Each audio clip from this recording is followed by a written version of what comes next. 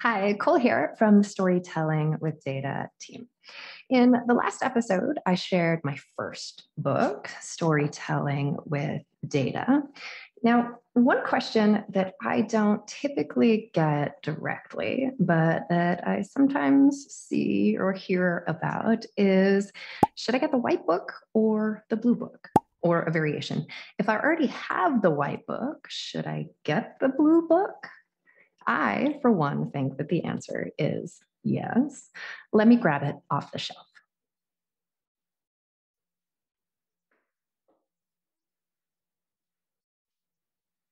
The book I'm talking about is Storytelling with Data Let's Practice.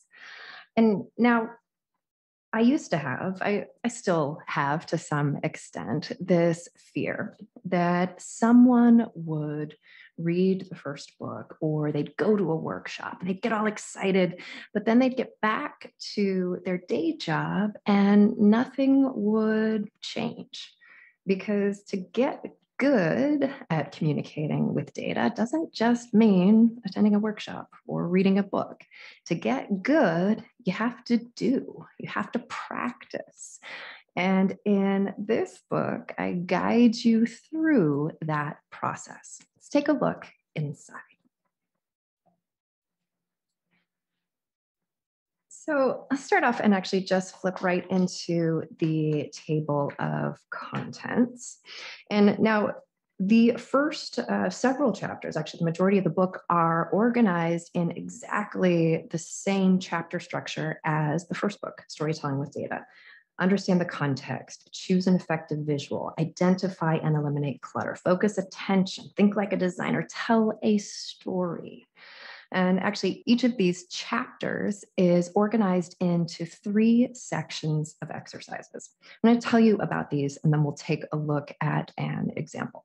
Starts off with practice with Cole, where I introduce an exercise or a case study that you are meant to work through on your own, but then I also show you my solution and the thought process that went into creating it. Uh, the next section of exercises within each chapter is called Practice on Your Own.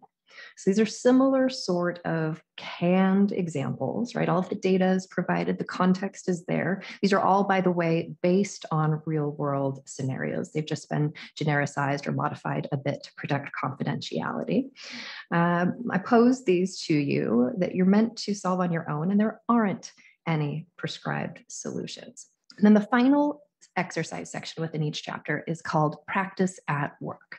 The idea is all right, you've done this with my canned examples. You've maybe practiced some more on your own. Now, let's take a project that you are facing in your day to day work life and break it into the component pieces. You know, how do you think about things? How do you plan? How do you create? Really guide you through the process of communicating effectively with data and forming stories that are going to get your audience's attention and ultimately get your point across and motivate them to act. Let's take a look at one of the chapters within the books. You can get a sense. We'll look at chapter three this time, which is one that we didn't spend uh, really any time on when we looked at storytelling with data. Identify and eliminate clutter. So it starts off with just a little bit of prelude about what the thing is. And actually, I'll read this one to you because it's short. Every element we put in our graphs or on the pages and slides that contain them adds cognitive burden. Each one consumes brain power to process. We should take a discerning look at the elements we allow into our visual communications and strip away those things that aren't adding enough informative value to make up for their presence. The lesson is simple, but the impact is huge. Get rid of the stuff that doesn't need to be there. We'll illustrate and experience the power of doing so through a handful of targeted exercises in this chapter. Let's practice identifying and eliminating clutter. First, we'll review the main lessons from Storytelling with Data, Chapter 3. So from there, uh, it goes into a recap of chapter three uh, from Storytelling with Data, Clutter, Cognitive Load, Lack of Visual Order. And one of the really fun things with this book was that I partnered with Catherine Madden, uh, who is an amazing illustrator and has this superpower for turning concepts into visual content. And so she did that for each of the chapters. So we have this beautifully illustrated summary of the main lessons from chapter three of the original book. So if you aren't familiar with it, the prelude we just read plus this should give you enough to get going and then you'll be able to further see the lessons put into practice through the practice with Cole exercises. Or if you've already read and are familiar with the first book then this is just a recap that helps get you in the right frame of mind to be able to then put those lessons into practice. Back to the book. Once we get past the chapter summary, uh, we can see the outline of the exercises in the given chapter. So here, practice with Cole, uh, we can exercise around Gestalt principles, tie in words to a graph, harnessing alignment and white space, declutter, then practice on your own, several exercises there, and finally, practice at work. Start with a blank piece of paper. Do you need that? And let's discuss.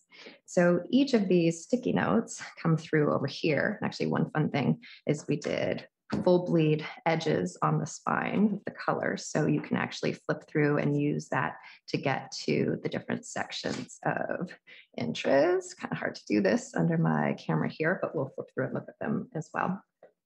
So here we see the exercise posed and then my solution, right? So here are the Gestalt principles I identified and then I actually go through and uh, go through an example of showing how you can tie words to a graph in the second exercise and so forth. I'm just gonna flip through the pages of this chapter so you can get a sense, right? Here's a step-by-step -step declutter, and then there are several more declutter exercises that you're invited to do on your own. Let's see, I think soon, yes, now we get to practice on your own uh, and uh, some exercises that you can do there, right? Find an effective visual. Uh, find a, a, graph you believe is effective from your own work, someone else's, the media, our website, other sources. What Gestalt principles are being used. So it gets you to really explore some of the concepts that you've practiced and that have been taught. Several decluttering exercises. And then we get to practice at work. Uh, so there's a quick exercise about starting with a blank piece of paper. Uh, another one, do you need that? Right? What visual clutter can you eliminate? Is there redundant information you could streamline? Is all of the data you are showing necessary? What could you push to the background? And some advice for seeking feedback. Right. So this is something where you could take a project that you are working on and read through an exercise like this and then apply it real time to your own work see what else we have in this section. Ah, and then each chapter ends with a list of discussion questions.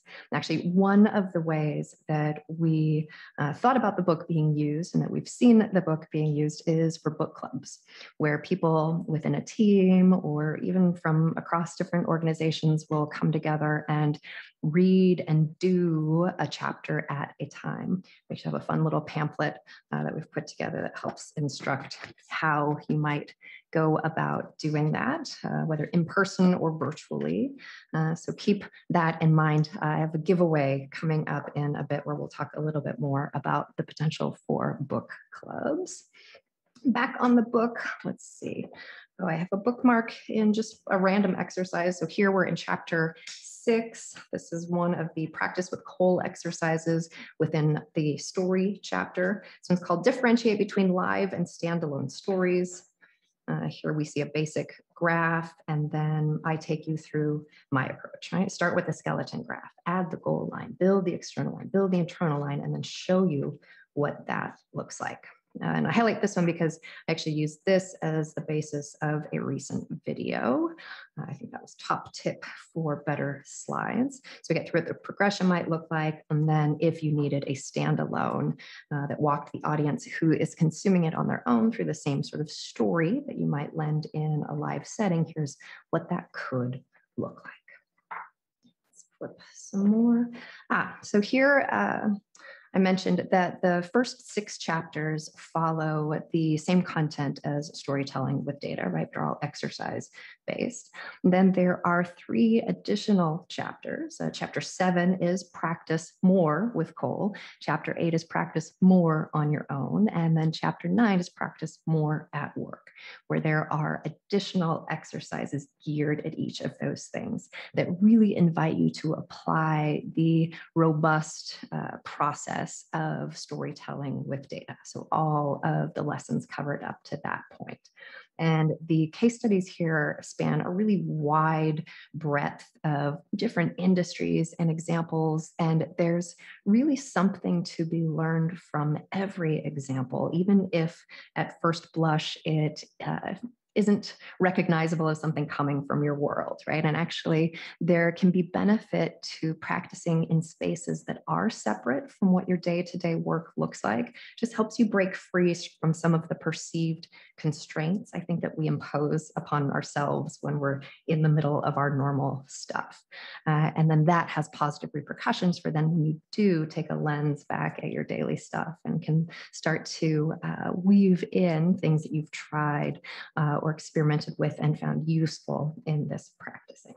Um, so lots of great stuff there. And that brings us through to the end of the book. So I'd say if any of this sounds intriguing, uh, to add to the excitement, I have a couple of special giveaways. First, I'll just ask that if you know someone who could benefit from this book, please share this video with them. I'll also mention that our online storytelling with data community builds on this idea of practicing in a safe environment. There we run a monthly challenge. We also have an exercise bank uh, that anyone can access at any time. The really cool thing there is when you take the time to solve an exercise and share your solution, it unlocks all of the solutions that others in the community have shared, including those from the Storytelling with Data team. So the learning doesn't end with the practice. You also get the chance to compare and contrast to others' approaches. On the giveaway front, I would love to share this book with those who will commit to sharing it with others.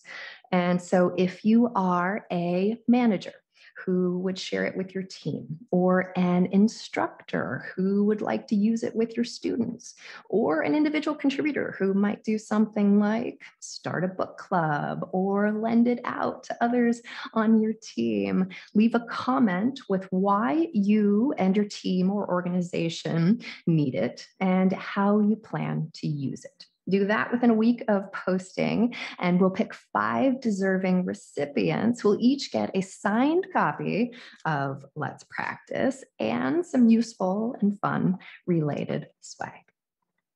Alternatively, if you'd like to simply order Let's Practice and add it to your library, click on the link that just appeared. Before I wrap, I'll mention that we have some exciting new content coming for you soon as we prepare for the official release of my new book, Storytelling with You Plan, Create, and Deliver a Stellar Presentation. I'll actually suggest that you pause here and take a moment to pre order that. Uh, and then stay tuned for more great stuff. Thanks very much for tuning in. We'll see you next time.